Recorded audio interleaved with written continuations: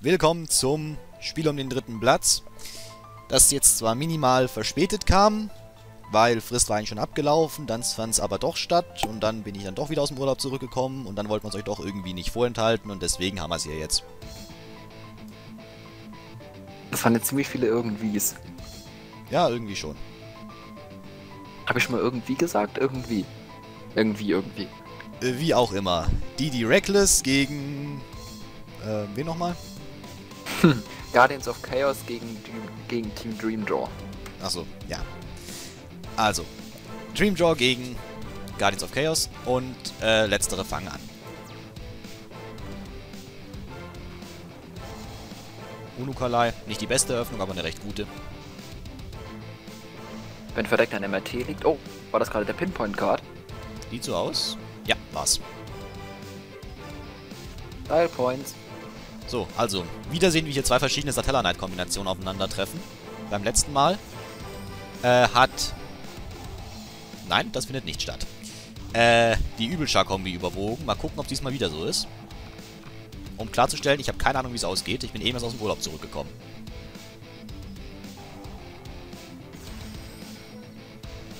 Vega mangels Alternative, nehme ich mal an.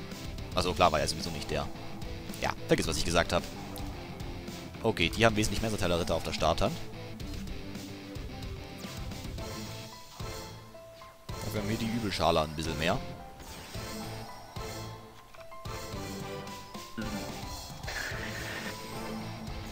Ist aber noch relativ even. Ja, sowohl Lebenspunkte technisch gut, Feldtechnik jetzt nicht ganz so. Hm, nee, jetzt nicht mehr wirklich.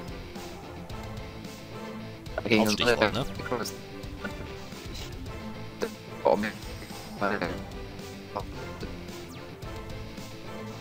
So, da sind wir wieder. Jetzt leckt's auch hoffentlich nicht mehr. Also TS meine ich jetzt. Triweil, ja. Was auch sonst.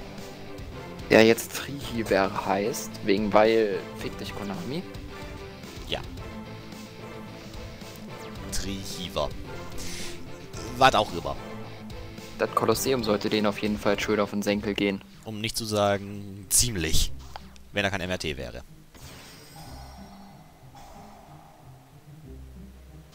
Wahrscheinlich hatten sie sogar damit gerechnet, dass das kommt. Wahrscheinlich. Und deswegen kommt erst jetzt der MRT. Aber Trival kann nicht nochmal was wegschmeißen, also insofern... Also... Ah, nochmal dazwischen gefahren. Bringt aber nicht so viel, weil da ist noch ein Sirius. Der Ex ist natürlich gemein, wenn er noch da liegen würde. da muss man mitdenken. Und sich nicht verzählen. Ableger der Auslöschung im Main? Hat mich gerade auch gewundert. Wahrscheinlich gegen Shadow. Ja, aber wieso im Main? Es war genau ein Shadow-Team dabei. Okay, wussten die nicht.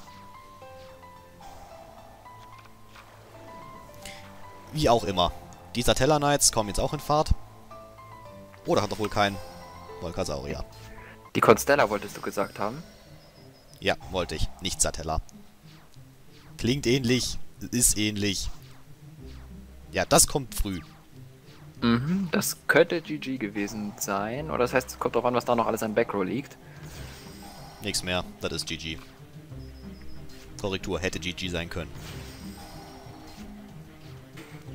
Ich glaube, sie hätten sogar gar nicht auf 0 runtergebracht. Okay, trotzdem ist jetzt sieht es gerade ziemlich schlecht aus. Für Guardians of Chaos. Oder relativ schlecht. Gerade fangen sie sich wieder. Mhm. Jetzt war's 50 das HP. Ah ja, stimmt, 50.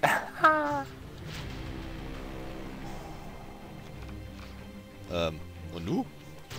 Hier unten liegt nichts mehr. Ja, das war's. Oder so. Mit Stil beendet. Die Runde geht dieses Mal tatsächlich an die Constellar-Kombi. Und ich sag bis gleich zum nächsten Duell. So, da sind wir wieder. Wieder fangen die Guardians of Chaos an. Mit... Das ist natürlich erstmal eine Hausnummer. Ja. Und war da gerade... Schatteneinsperrender. Ah ja. Ja gut, macht Sinn. Die brauchen ja kein Finsternismonster. Andererseits, der lichtentsperrende Hebel, die verdammt aus, wenn der kommen würde. Wird jetzt wahrscheinlich nicht kommen, aber wenn er kommen würde. Mhm. Soul Drain ist wahrscheinlich auch bei beiden aus dem Main Deck direkt wieder rausgeflogen. Wahrscheinlich, weil keiner von beiden braucht die wirklich. Oder keiner von beiden stört die wirklich. Und da ist der Schatteneinsperrende. Autsch, jetzt wird's böse. Woraufhin der Donnervogel auch direkt mal die Biege macht. Klar, solange es noch kann.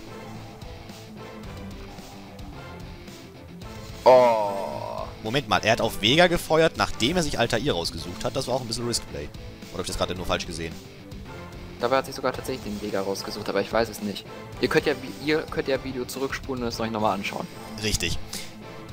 Wie auch immer. Deltaros und äh, XC abtauscht, sodass am Ende wieder Dreamdraw vorne liegt, die jetzt ihr Kanickel vergessen können. Das ist natürlich auch Pech. Mhm. Doppelheliotrop zu ziehen. Und das war jetzt einfach nur fies. Frage ist, warum hat er seinen eigenen Alter ihr verbannt? Er muss nicht fünf Karten verbannen, sondern nur bis zu fünf. Hm. So. Jetzt Äh, wird Trival kommen. Guardians of Chaos geht nicht auf Trival. Wahrscheinlich weil unnötig. ich wäre auf also Trival so- gegangen, weil der hätte die eine Handkarte weggeschmissen. Ja, aber dafür hätten sie Algedi wieder gehabt. Auch wieder wahr. Und der nächste Deltaros. Langsam wird's lächerlich. Nur mal die 1000 Schaden wegen Mittelfinger. Mhm. Und mal wieder ein äh, blindes antikes Blatt. Oder totes. Ja. Und mal eine Karte, die in diesem Duell noch gar nicht kam. Der gute alte Shark-Ritter. Gefolgt von Pinpoint Guard und ja. Ja, den Scheiß kennt man. Und Sombrero ist auch noch da. Ja, das äh, war ziemlich an die Wand gespielt. Trotzdem, noch ist nichts entschieden. Guardians of Chaos kann das noch rumreißen. Bis jetzt ist nur Life Points technisch sehr unausgeglichen. So, jetzt kommt aber der Trival und schmeißt alles zurück. Und erwischt noch den Sombrero. Nice. Okay, Soul Charge, damit hätte was kommen können. Ist aber nett. Das Also war das jetzt richtig geile Kombi. Oh, und Sirius. Ja klar, recyceln und so. Mhm. Den Shark-Ritter. Na gut, wäre vor Spiegelkraft sicher, aber ich weiß nicht. Hey, Deltaros, hat man noch gar nicht. Und weg ist er auch wieder. Mit Bär- und Feuerformation immerhin noch ein bisschen was reißen können, aber nicht wirklich was, weil einfach zu viele starke Monster auf dem Feld sind, die noch alle ihre Effekte offen haben. Und ich würde mal sagen, mit Sirius und der Honest hier ist das eine ziemliche Wand. Ja, sieht so aus, als würden, als gäbe es hier ein drittes Duell. Ja, weil dafür, dass die Lebenspunkte technisch erst so weit hinten lagen, hat sich Dream Dawn ein bisschen zu schnell leer gespielt und jetzt haben sie es wieder rumgerissen. Weil, ich kenne das Duell nicht, aber es ist ziemlich obvious, dass das GG ist, würde ich mal sagen. Na gut, ich ein meine, was soll Reckless jetzt noch haben? Oder, ja, genau. Achso, ja klar, jetzt ist ja der dran. Ja gut, dann. Und das war's. Okay, nach einer gigantischen Rücklage von fast 10.000 Lebenspunkten Differenz haben Über. uns Guardians of Chaos nochmal supi rumgerissen. Und ich sag bis gleich zum dritten Duell. Und wieder beim dritten Duell. Dieses Mal fängt äh, Dream Draw an. Mit einem ganz guten Blatt, würde ich mal sagen. Kann man sich auf jeden Fall nicht beschweren. Mhm. Man the Man aber auch nicht. Und direkt ein Dead auf der Hand, das ist natürlich klasse. Yep. Und gleich noch Ophion nehme ich an. Classic. Classic. Black Horn of Doom. Algedi und Pollux zwar ein bisschen doppelt gemoppelt, aber geht auch. Omega und so. War klar. Aber auch Avenger So. kann sich über sein Blatt nicht beklagen. Ja, da wird gleich zurückgeschossen. Und auch Volltreffer. blind. War das blind? Ich weiß gerade nicht. War das blind? Ich glaube, es war gar nicht blind. Lässt Ihr sich rausfinden. Ah, war gar nicht blind. Okay. Du hättest auch einfach den Duell-Log in den Duell-Log kurz schauen können. Hätte ich, habe ich aber nicht. Der Staubtornado hingegen wäre besser mal blind gekommen. Dann wäre das jetzt nämlich gerade eben nicht passiert. So, das war jetzt auf jeden Fall schon mal ganz nett Schaden, aber irgendwie... Noch nicht entschieden. Wie du ja bereits sagtest, hat Avenger noch ordentlich was. Ich weiß auch gar nicht, ob ich den MRT auf die... Doch, hätte glaube ich auch auf die Supply Unit abgeschossen. Na gut, das noch, Gut. weil das konnte. Mhm. Ansonsten hat feldtechnisch jetzt äh, aktuell wieder der Ausgleich da. Das war nicht ganz richtig, was ich gerade gesagt habe, aber ich habe auch was anderes sagen wollen, was nicht ganz richtig war. Insofern kam kein Angriff, warum auch immer. Alter, ihr? Achso, klar. Denkt man immer nicht sofort dran, ne? Da die in die Battlephase gegangen, sind, was wahrscheinlich hier auch so. Sind sie in die Battlephase gegangen? Hab schon wieder vergessen. Egal. Ja, Alter, ihr es, man gerne mal vergisst. De facto kam Geht. hier aber nicht der Effekt von Alter, ihr, weswegen diesmal der Angriff kommen konnte.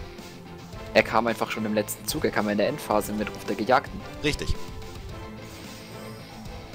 So, der macht direkt mal die Biege. Und kann sich nichts raussuchen, weil es der falsche Spieler ist. Und rufen konnte er dann... Ne, doch, rufen hätte er können. Anders als was hätte er bitte rufen sollen. Mhm. Und das tut jetzt auf jeden Fall sehr gut Aua. Das tut sogar so gut, Aua, dass es GG ist. Und trotz anfänglicher Niederlage somit nochmals die Guardians of Chaos. Und somit halt wieder die Übelschar. Äh, Satella Knight Kombi über. Äh, ihr wisst, was ich sagen will. Also, der dritte Platz geht an Guardians of Chaos. Und ähm, in der Playlist wird das hier jetzt vor dem Finale sein. Also nicht wundern, wenn ihr das nachträglich schauen solltet. Wenn ich mich jetzt nochmal verabschiede, deswegen sage ich bis zum nächsten Turnier, wenn ein stattfinden sollte. Ansonsten bis zum nächsten Video. Ciao. Ciao.